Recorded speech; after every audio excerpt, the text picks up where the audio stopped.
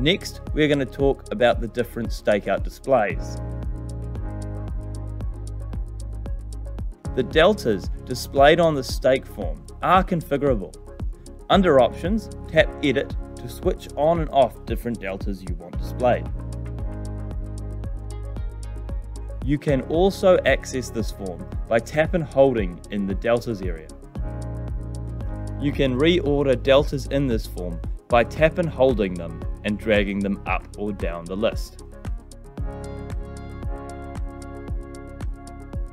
We can also configure the stakeout graphics.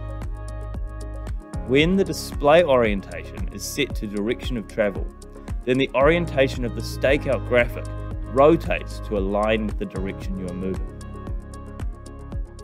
North Sun fixes the graphic orientation towards the north or the sun for the last 3 meters of stakeout when the graphic changes from an arrow to a grid.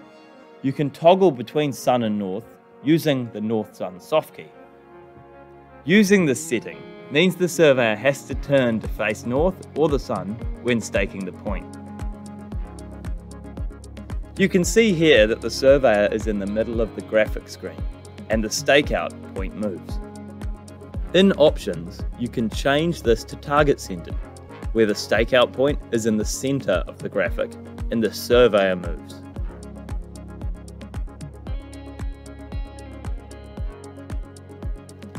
You can also display deltas to a digital terrain model. Select the model in options and apply any offsets if required.